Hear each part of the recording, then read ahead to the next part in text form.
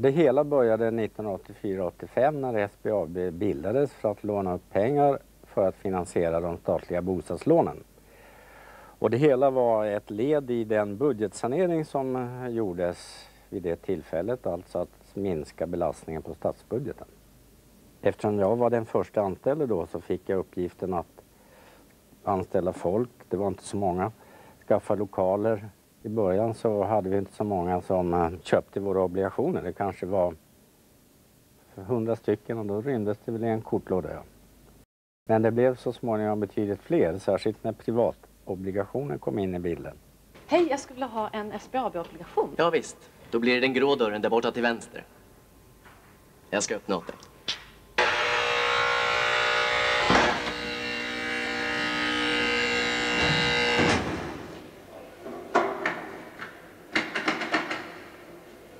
SBAB-obligationen. Så bra att bankerna helst inte pratar om den. Men de har den. Så stå på dig om du vill göra en bra affär. Vad som var skojigt när vi startade att aktivera oss mot eh, privatmarknaden, det var att vi blev mer kända. Och det var frågan om vad vi skulle bli kända för. Och eh, vi hade ju med oss i bagaget en trygghet i att vi kunde det här med bolån, vi hade en specialistkompetens från företagsmarknaden, vi visste att vi kunde den här branschen. Och eh, det tog vi med oss in. Men nu gällde det också att göra någonting som, som var bra för privatpersonerna. Vi ville skapa en, ett utmanarskap, vi ville visa att vi var bättre än någon annan. Och då tog vi med oss det gamla och försökte göra något nytt av det. Och sen har vi försökt tala om det ända sedan dess. Och eh, vi har haft stor framgång med detta, det är ingen tvekan om det. Nu har SBAB rea på bolån om du ansöker via internet.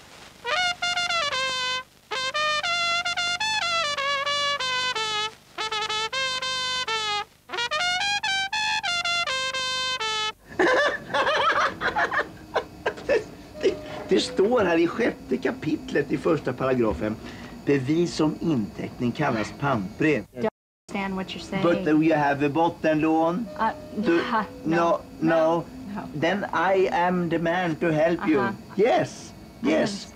En inteckning i själva fastigheten. Medan däremot lagfart.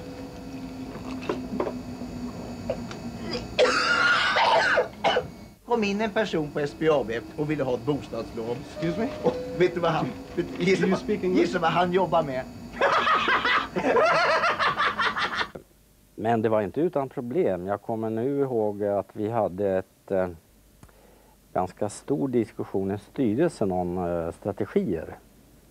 Och eh, det som låter självklart idag det var att vi skulle vara väldigt affärsmässiga, lönsamma, kostnadseffektiva och sådana här saker. Men på den tiden var det faktiskt inte det. Man hade från en del håll eh, andra förväntningar på ett statligt bolag som det var vissa svårigheter att få bort så att vi verkligen fick, fick fastlagt den här strategin som innebär, innebar att vi ibland var väl affärsmässiga kanske men det väckte respekt i bankvärlden.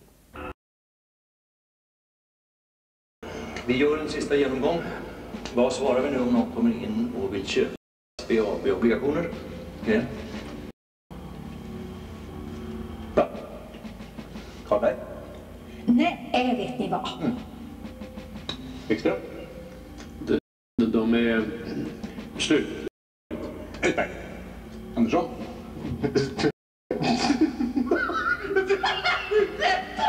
Tack, tack. Så tar vi ramsan. Ge mig ett S. S. Ge mig ett B. B. A. A. Ge mig ett B. B. Vad blir det? SBAB. Vad tycker vi om det? Mycket dåligt, inte bra. Såna vill vi inte sälja. Helst. Då öppnar vi banken. SBAB-obligationen. Så bra att bankerna helst inte pratar om den. Men de har den. Så stå på dig om du vill göra en bra affär.